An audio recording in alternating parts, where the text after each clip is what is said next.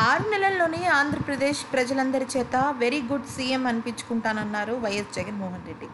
దానికి సంబంధించి ఆయన ఇప్పటికే మంత్రి కూర్పును ఆయనకు ఆయనే వ్యూహాత్మకంగా సెలెక్ట్ చేసుకుని మరి ఆయన సిబ్బందిని అంటే ఆయన మంత్రివర్గాన్ని తయారు చేసుకున్నారు.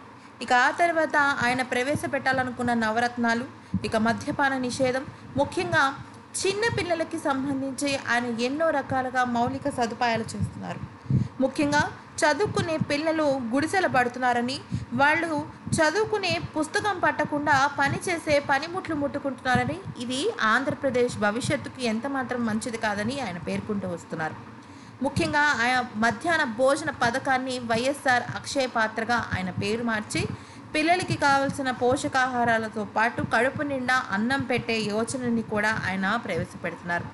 అంతేకాకుండా ఎవరైతే ఏ ఇంటి నుంచి అయితే ఆడపడుచు తన పిల్లల్ని చదువుకోవడానికి పంపిస్తుందో వాళ్ళకి సంవత్సరానికి పదిహేను వేల రూపాయలు నేను మంజూరు చేస్తానని ఇక ఏ ఒక్క పిల్లాడు లేకపోతే పిల్ల బానిసలాగా వెళ్ళి పనిచేయాల్సిన అవసరం లేదంటూ ఆయన పేర్కొన్నారు.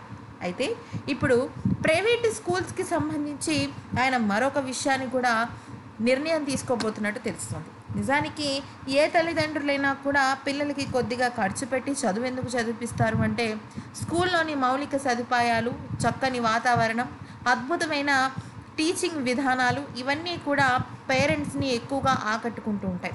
అయితే ఇవన్నీ కూడా ప్రభుత్వ స్కూళ్ళలో ప్రభుత్వ పాఠశాలల్లో విద్యా సంస్థల్లో మనకి ఎక్కడా కనపడం కానీ వైఎస్ జగన్మోహన్ రెడ్డి ఇప్పుడు దీని దృష్టానే పనిచేస్తున్నట్టు తెలుస్తుంది.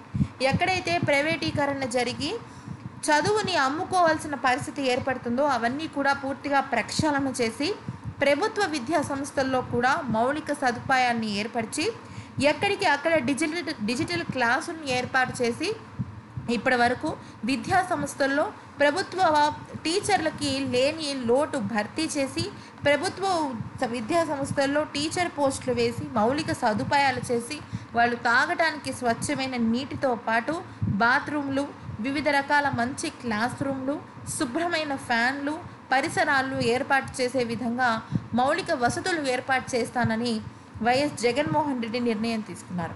అయితే ఇప్పటి వరకు తల్లిదండ్రులు తమ స్థోమతకు మించి మరీ పిల్లల్ని ప్రైవేటు స్కూళ్ళల్లో చదివిస్తున్నారు. ఇవన్నీ కూడా మౌలిక విద్యా సంస్థలకి గురించి దృష్ట్యా ఇవన్నీ చేస్తున్నారు. ఎప్పుడైతే ప్రభుత్వ పాఠశాలలోనే ఇటువంటి అద్భుతమైన వసతులు ఏర్పాట్లు సౌకర్యాలు కనుక జగన్మోహన్ రెడ్డి అందించినట్టయితే ఇక ప్రైవేట్ స్కూల్స్ మూతపడాల్సిందేనా? పేరెంట్స్ వాళ్ళ శక్తికి మించి ప్రైవేట్ స్కూల్స్లో చేర్పించాల్సిన అవసరం లేదు కాబట్టే ఇప్పుడు ప్రైవేట్ స్కూల్స్కి షాక్. ప్రభుత్వ స్కూల్లో చదివే వాళ్ళకి ఒక గొప్ప బహుమతి అని తెలుస్తుంది.